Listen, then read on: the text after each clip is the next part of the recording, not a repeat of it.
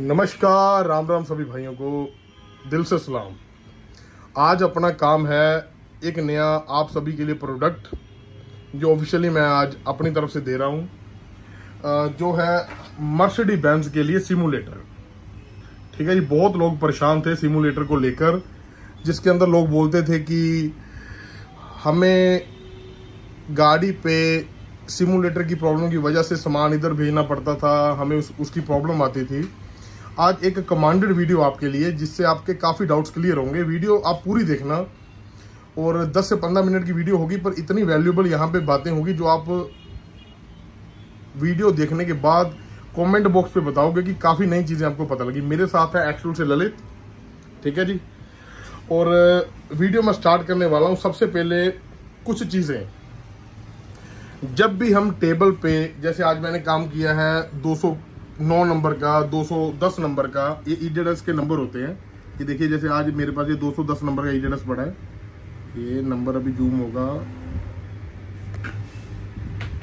ये देखिए 210 इसका काम करने के बाद अपने को गाड़ी पे जाना पड़ता है और कुछ आफ्टर मार्केट के डिवाइस आते हैं जो ऑन टेबल हम इसको टेस्ट कर सकते हैं, पर इतने कामयाब नहीं होते। कभी उनमें दिक्कत भी रहती है तो ये जो स्मार्ट कैन है, जब टेबल पे और भी कोई भी हम डिवाइस यूज़ करते हैं, जैसे आरजी कैन हो गया, मैं आरजी कैन और स्मार्ट कैन दोनों से काम करता हूँ, इसके ऊपर हम एक तरह का गाड़ी वाला सिस्टम भी लगा सकते हैं। अगर आपके पास सिमुलेटर नहीं है तो आप गाड़ी का ओरिजिनल ईएसएल भी लगा सकते हो, ठीक है? और ई e तो है ही अपना, ठीक है? जो आफ्टर मार्केट टेबल पे चेकिंग करने वाले डिवाइस होते हैं, वो सिर्फ़ ई e से चेक करते हैं और कभी कभी वो फेल हो जाते हैं। आज उसके ऊपर ही मैं आपको एक डेमोस्ट्रेशन देने वाला हूँ इस चीज़ के लिए। ये हमारा सिमुलेटर आज मैं आपके लिए लेकर आया हूँ। इसके ऊपर सबसे खास चीज़ क्या है?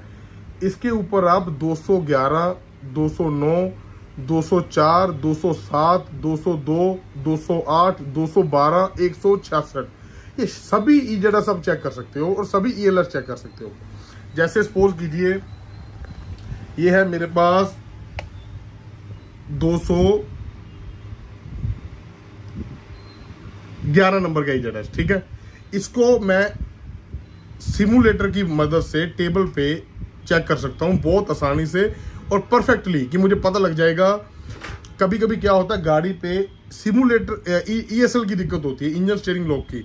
तो लोग ईजेडस भेज सकते हैं, पर वो ईजेडस से कंप्लीटली चेक नहीं हो पाता क्योंकि दिक्कत कभी ना कभी ईएसएल में भी रहती है। तो उसकी वजह से आज आपको मैं डेमोन्स्ट्रेशन वीडियो देने जा रहा हूँ कि ये, जैसे आज मेरे पास ये ईजेडस पड़ा है 209 नंबर का। 211 नंबर का 210 नंबर का ये दोनों ईजेडा सेम होते हैं 202, 208 और 210 ये एक होता है तीन एक होते हैं 212, 207, 204, 166 ये एक होते हैं जैसे इधर से आपको मैं देने जा रहा हूँ आपका 212, 207 और 204 इसमें लगेंगे ठीक है जी 211, 209 एक में लगेंगे 208 दो और 10 एक में लगेंगे ये सब ईजेडस के नंबर होते हैं किसी किसी भाई को ये चीज़ समझ में नहीं आ रही होगी, पर जब आप काम करोगे, आप यूज़ टू हो जाओगे, ठीक है?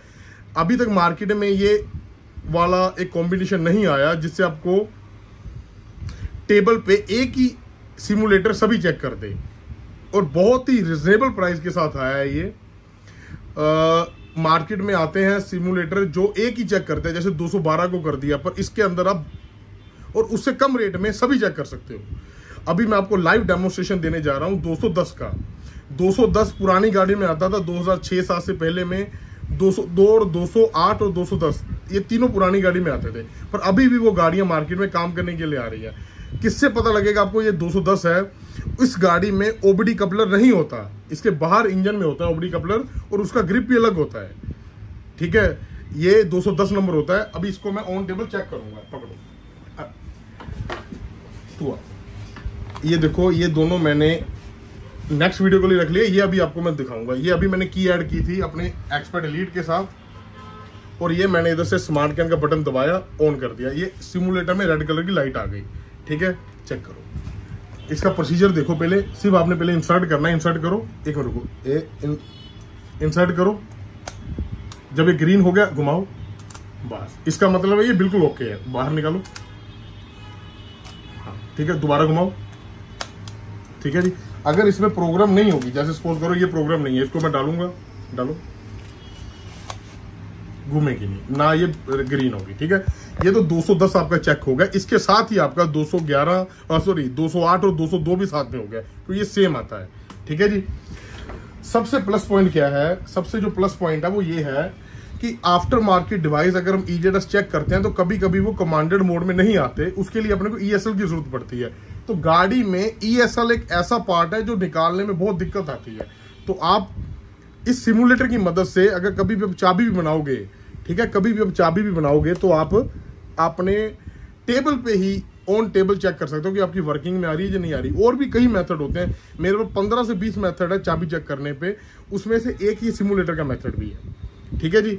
और जो नेक्स्ट वीडियो आएगी, वो आएगी अपनी 209 और 211 के साथ। होप्स हो आपको ये प्रोडक्ट अच्छा लगा होगा।